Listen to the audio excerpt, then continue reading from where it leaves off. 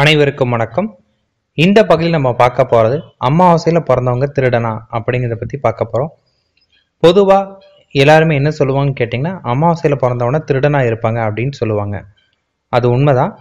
அமாவாசையில் பிறந்தவங்க அடுத்தவங்களோட மனசை திருடுறதுல வல்லவர்களாக இருப்பாங்க. அமாவாசையில் பிறந்தவங்க அறிவில் திருடலாக இருப்பாங்க.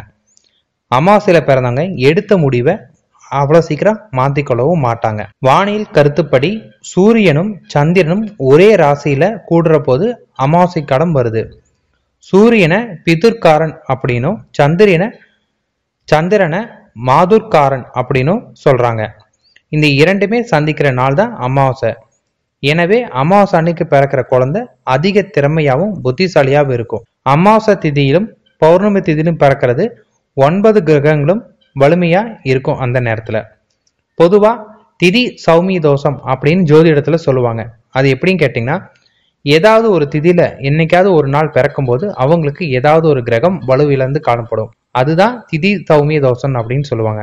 ஆனால் அமாவாசையோ பௌர்ணமியோ அன்னைக்கு பிறக்கக்கூடிய குழந்தைங்களுக்கு எல்லா விதமான கிரகங்களுமே வலிமையோட தான் இருக்கும். அவங்களுக்கு திதி சௌமிய தோஷம் இருக்காது. இந்த மாதிரி பிறக்கிறவங்க மூளை பலம் அதிகமாக அவங்களுக்கு இருக்கும். வாய்ப்புகளுக்கு அவங்க காத்திருக்காம அவங்கள தேடி வாய்ப்புகள் வர மாதிரி இருக்கும். அதே போல அவங்க வாய்ப்புகளை தனக்கு த தகுந்த மாதிரி அவங்களே உருவாக்கியும் செய்வாங்க. அதே சமயத்தில் அவங்க சில தவறுகளுமே செய்ய ஆரம்பிப்பாங்க. அவங்க தெரிஞ்சும் செய்வாங்க தெரியாமலும் நிறைய தவறுகளை அவங்க செய்ய ஆரம்பிப்பாங்க.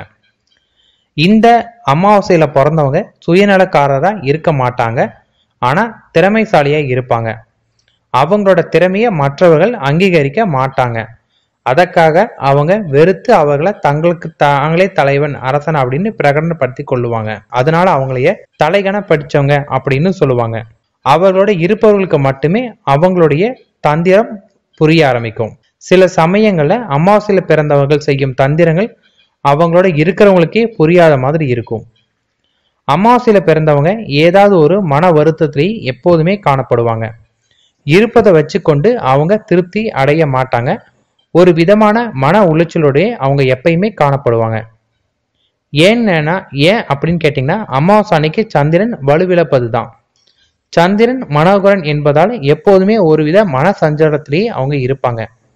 சாதித்து விட்ட பின்னருமே இன்னும் சாதிக்கவில்லை சாதிச்சது பத்தலை அப்படின்னு தனக்குத்தானே ஒரு மன உளைச்சலே அவங்க இருப்பாங்க. அவங்களுக்கு நல்ல வாழ்க்கை துணை அமையும். இருந்தாலுமே இன்னும் நல்லவராக அமைஞ்சிருக்கலாமே அப்படிங்கிற எண்ணம் அவங்களுக்கு இருக்கும். அவங்க சாப்பிடும் வரை திருப்தி அடைவாங்க.